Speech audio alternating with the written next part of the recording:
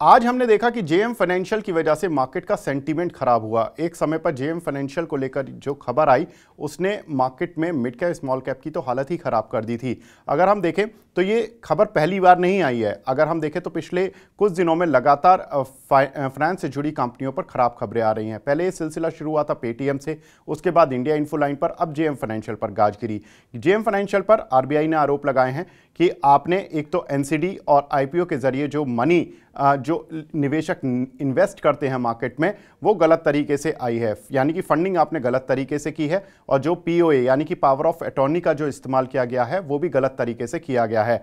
अब हम खबर को पूरी तरह से जानते हैं कि आरबीआई के जो आरोप हैं, वो किस तरह के हैं।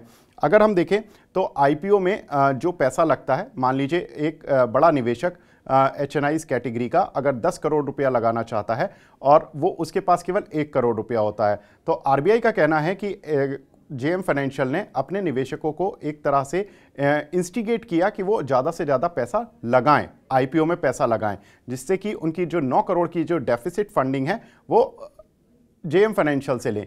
नौ करोड़ रुपए की फंडिंग जेएम फाइनेंशियल ने दे दी। उसके अगेंस्ट में पावर ऑफ़ अटॉर्नी ले लिया। पावर ऑफ़ अटॉर्नी में आ, उन्होंने डीमेट अकाउंट बैंक अकाउंट और एप्लीकेशन जो एप्लीकेशन है सभी को कंट्रोल जेएम फाइनेंशियल ही कर रहे थे। अब आरबीआई का ये कहना है कि ये प्रोसेस गलत है। जबकि जेएम फाइनेंशियल का कहना है कि ये प्रोसेस बिल्कुल सही है इसमें कोई दिक्कत नहीं है आ, क्योंकि आ, सेक्टर में यही प्रैक्टिस चल रही है और पीओए लेना कोई भी गलत चीज़ नहीं है। हम आरबीआई के स्पेशल जो आ, उनकी इन्वेस्टिगेशन होगी उसमें भी हम पूरा साथ देंगे। लेकिन इस प्रोसेस में अगर हम देखें तो रिटेल निवेशक को क्या इम्पैक्ट पड़ सकता है? रिटेल निवेशक को ये इम्पैक्ट पड़ता है जनरली कि जब आ, इस तरह से फंडिंग आती है एक करोड़ रुपए वाला निवेशक जब दस करोड़ रुपया लगाता है तो ये एक आर्टिफिशियल मनी आती है मार्केट में जिसकी वजह से आप देखते होंगे कि आईपीओ में जो सब्सक्रिप्शन होता है, वो आठ गुना, दस गुना तक बढ़ जाता है और बहुत सारे लोगों को बहुत कम शेयर असाइन होते हैं। बहुत से निवेशकों को तो बड़े बड़े आई में कोई शेयर ही नहीं मिलता है। जिसकी वजह से आईपीओ में उनको मायूस रहना पड़ता है लेकिन वो देखते ही हैं कि लिस्टिंग गेन जो हुआ, जो 50 परसेंट, सौ परसेंट, पाँच सौ परसेंट तक भी लिस्टिंग गेन चले जाते हैं, उनका कोई भी फ़ायदा निवेशक को नहीं मिला।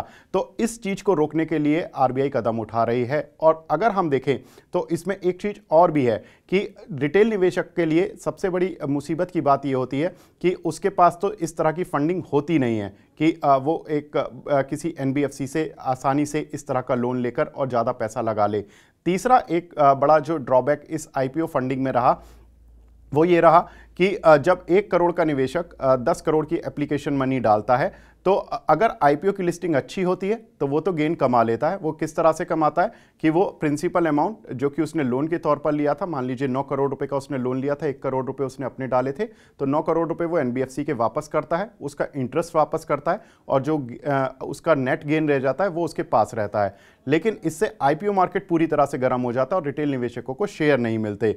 तो ये एक, कहीं ना कहीं ये एक ड्रॉबैक था, जो आईपीओ मार्केट में काफ़ी समय से चल रहा था, जिस पर आज आरबीआई ने सख्त कदम उठाया। अब ये देखना होगा कि ये पूरे सेक्टर पर सख्त कदम उठाया जाएगा या ये एक ही जेएम फाइनेंशियल तक ही सीमित रहेगा। हालाँकि जेएम फाइनेंशियल का जवाब जो उन्होंने दिया है, वो सेक्टर की नीति के साथ ही है। उन्होंने कहा कि सभी कंपनियाँ यही काम कर रही हैं। अब ये देखना होगा, बड़ा इंटरेस्टिंग होगा कि आरबीआई अगला कदम क्या उठाता है।